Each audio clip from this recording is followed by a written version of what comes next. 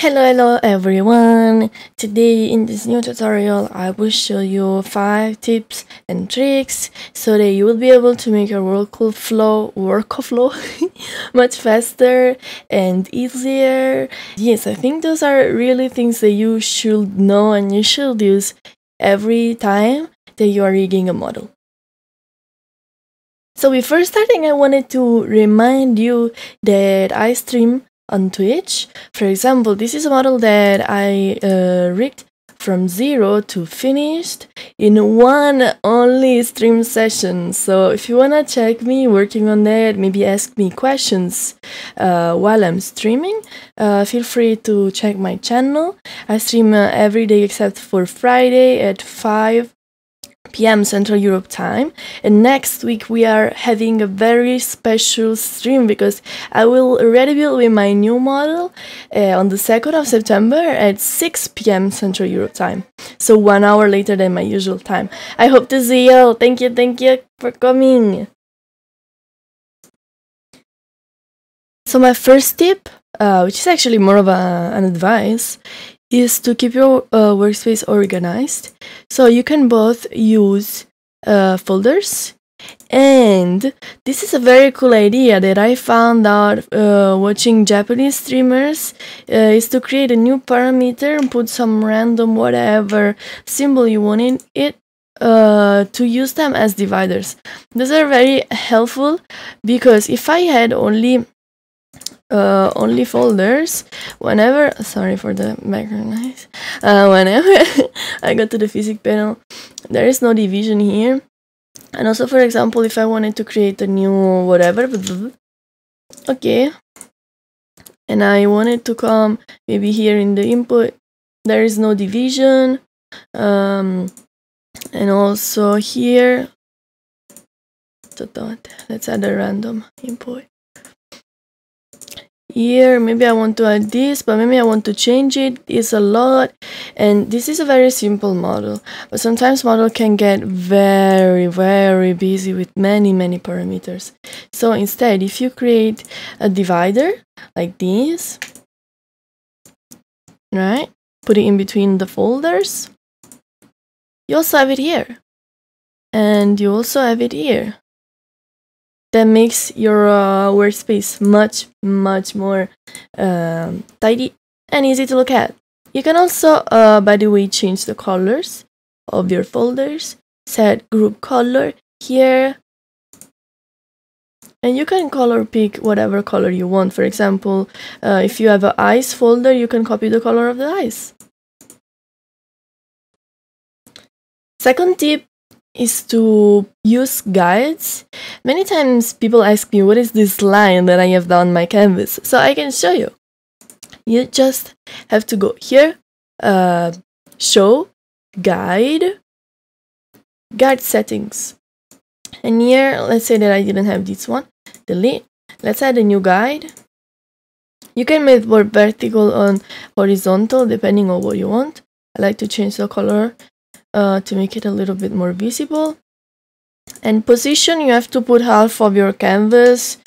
Um, many times it will not be precise. So you can just zoom in and drag this thing to the left until you reach the middle. Left or right until you reach the middle. And then close this and what this uh, this is very useful both because it uh, gives you a chance to see where the middle is in case you displace anything you will notice uh, instantly. But also when you create a new rotation deformer maybe for body as Z you can make it snap to this one. So the rotation will be precise. Okay I put nothing in it so it's not rotating. But I used it for my actual body Z and as you can see the rotation starts right in the middle, which is a very good thing.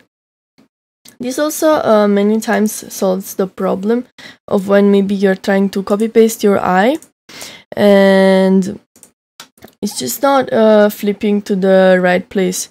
Uh, so if you, what you can do, uh, maybe if you wanted to reflect this, reflect horizontally and as you can see it's following the line guide uh, many times if you don't have the land guide it doesn't follow it. So it acts like a, a mirror Another very easy tool uh, that you can use is to reset the shape of the mesh. Sometimes it happens to me that maybe I have deformed the mesh in a way that looks too crazy and I got no clue how to make it come back and it looks bad. Um, or maybe it happens randomly, like all of a sudden you look at something that you drew and it looks weird and you go like, wait, that's not how I drew that. Sometimes it happens you can go here modeling edit shape revert to original and it will go back to its original state.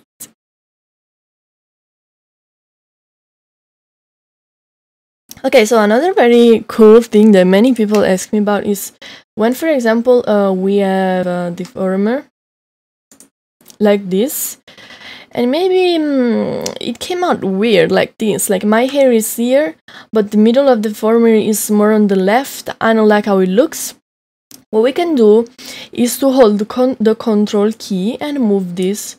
Um, if you if you move it without the control key it will deform the inside object. Instead, if you hold control, it will not deform the inside object. Instead, it will change just the shape of your uh, deformer. If you if this is happening to you, just click on the X that is here. Maybe it's a little bit hard to see because I, I have this pink hair behind it. Uh, you can click on the X so it will just make you work on the deformer again hold control. And you can change the shape of this to follow more the shape on the inner object. As you see as you can see a red grid um, shows so that it tells you where you can go as far as you can go before the object goes outside of your deformer. Um, you want to keep the object inside of the deformer. Don't make it go outside be careful because you have to do this control deformation uh, before you uh, link this to any uh, parameter because uh, let's say uh, if you want to check click here there are no parameters is good. Instead let's try to do it again but if I add an active parameter let's say I wanted to link it to the happy Let's try. Look what it does when I go back. It's all weird and deformed. So you have to do that only before you before this deformer is active into a parameter. Okay. Also remember when this happened and you need to unlink this deformer from the parameter to fix it. If you unlink it here, this will be the shape that it will stay in. Instead, if you unlink it in the right shape, unlink it here, it will stay in the right shape. And then you can make it active again. And as you can see now, this is the default state.